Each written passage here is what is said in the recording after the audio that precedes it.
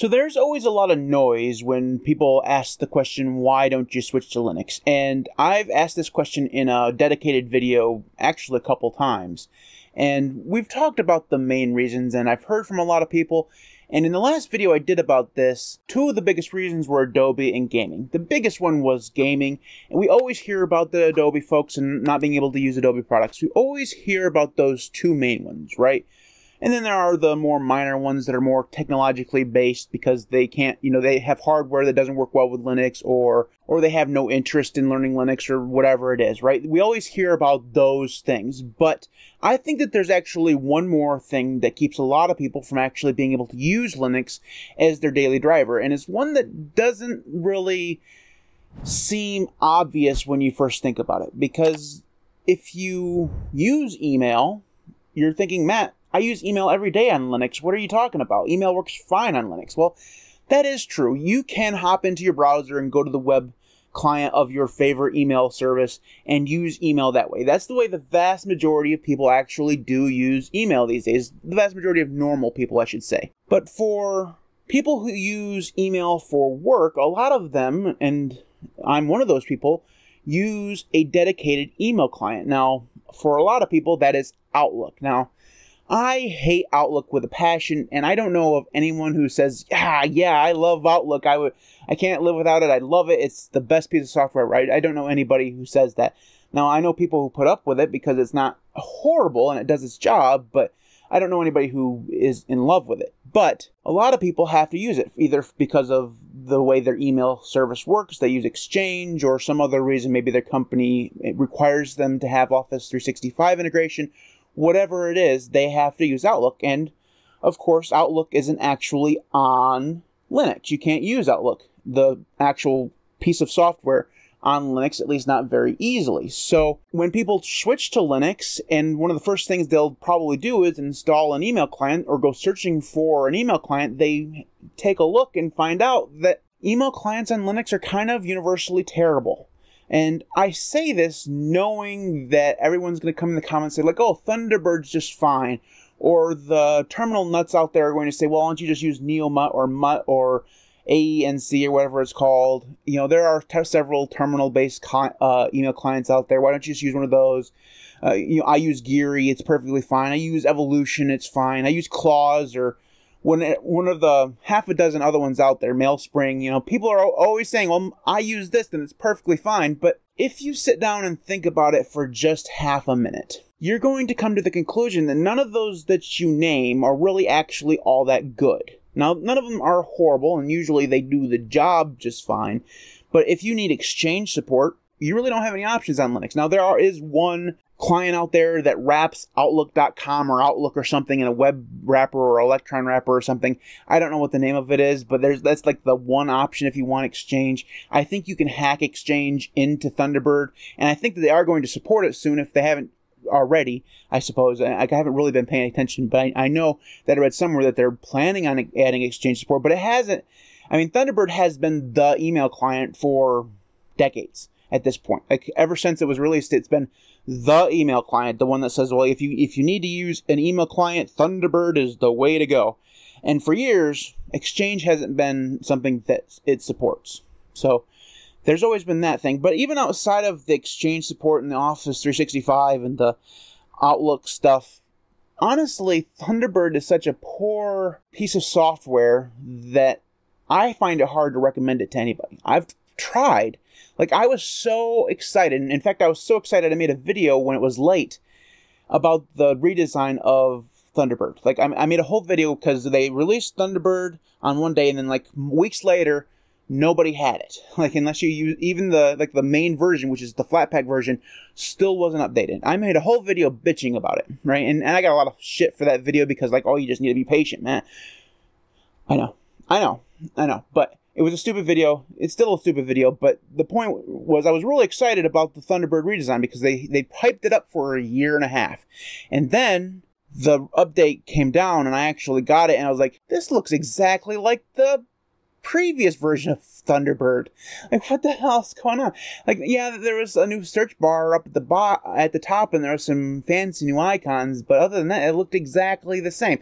Now, looks aren't everything. The biggest problem I have with Thunderbird isn't that it looks bad, it's that it's laid out weird. That it has a really poor way of triaging email because you can't see everything in the email list. And even if you change around change things around so the messages are on the bottom or on the side or wherever, you still can't see anything in the email list. Like you see the sender and the date, and that's it.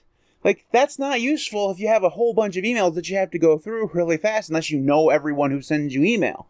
It's annoying and not a great way of doing things. Now, again, I hear, I hear that they're going to be redoing that and making it more useful. But if it's like the last update, it'll take them a year and a half and it won't be as good as we wanted it to be. I'm a little salty. Just a little salty. But I think my point is this. If you are someone who uses email and you want a native client, you are kind of screwed on Linux. Now, you can settle for Thunderbird or Mailspring or Geary or Evolution or whatever. Those things are all serviceable. You can use them. I've settled on Thunderbird. I use it. I'm not happy about it. But if you look at the email clients that are available on Linux, which are numerous, all of them are better. Like Outlook, better. I hate to say this, but it is, in fact, better than anything you can get on Linux. It's just absolutely is.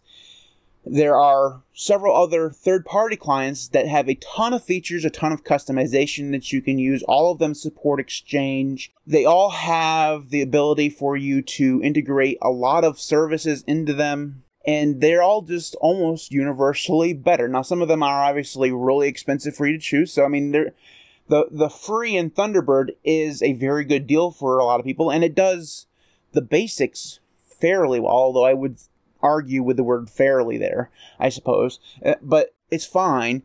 But if you compare it to the things that people are probably using on Windows, and they come here and they use this, it's not going to be as good for them. And something that I've struggled with since I've switched to Linux is finding a good email client. I've made a video about this in the past. Where are all the good email clients for Linux? And there's still no good answer. Like, Mailspring was the one that I had the most hope for. Like, it looks really nice. It has a lot of really cool functionality, like read receipts and the ability to do a little bit of tracking of like statistics and stuff like that. It has a lot of really nice things about it that it, it does fairly well, but unless you use a GTK based desktop environment, it looks like utter garbage everywhere else. I mean, it just stands out like a sore thumb. Now, not a big deal for everybody, but if you're like me who cares about that kind of thing, it's a little disappointing. And on top of that, it even though it has gone open source, it still requires, or at least seems to require, a Mailspring account to actually use. And I'm not opposed to having an account with someone, but I want something for it, right? If you're going to take my email and then send me random emails when I, that I don't really want, I would like something in return. But the MailSpring account doesn't give you that. Like, I would love it if I could just sign in with my MailSpring account. It would remember all the email con- accounts I've ever used with MailSpring, and I wouldn't have to add them every time I used MailSpring. That'd be really freaking cool. But it doesn't do that. It does nothing as far as I can tell. So there's always that. Plus, it was proprietary for a very long time. So, I mean, I'm not one of those guys who cares whether or not something is proprietary all that much. I prefer to have open source. I, you know, I bias, I have a strong bias towards open source. But if a piece of proprietary software is better, I'll use it. Like Vivaldi is proprietary software. I use it every day. It's a fantastic browser. You should definitely give it a try. Apparently, I'm a fanboy now. But uh, beside the point, right, is that I can use proprietary software. So that didn't really turn me away, but I know it turned a lot of people away. Like if you're going to come to Linux, chances are you're probably going to try to embrace the open source lifestyle. And at, for a long time, MailSpring wasn't open source. So there was that. So email on Linux is one of those things I truly honestly do believe that does keep some people from actually joining us on the Linux side of things because the clients there are better. Now, like I said, this is a I think it's it's not the the main reason why people don't switch to Linux. That's absolutely not true. But I think that it is a thing that people think about, especially people who are try, going to try to use Linux for their jobs, right? If if they use want to use Linux for their job and they want to have email up and running, which everybody does, and they have to use a client, they're going to come here and find out that the clients on Linux aren't very good. which is just absolutely disappointing for them and for me too, because I've been struggling now for six years trying to find an email client that just works the way that I want it to work. And I haven't found it yet. I just haven't found it yet, and I don't think that I probably will. Uh, Thunderbird keeps teasing me with redesigns and that fails to deliver on anything that's actually any good. So uh, I'm just highly disappointed. I'm very salty about it, and I needed to rant about it. So there you go. Anyways, that's it for this video. If you have thoughts on this, I'm, I'm, sure I'm going to get dozens of comments about, oh, I just I use this email client and it's fantastic for my purposes.